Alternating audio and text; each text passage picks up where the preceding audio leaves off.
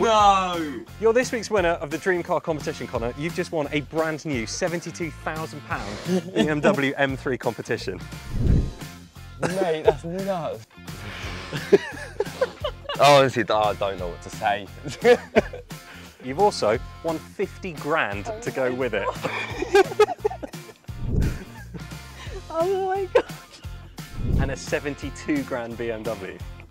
How you Yeah. feeling? speechless. Absolutely speechless.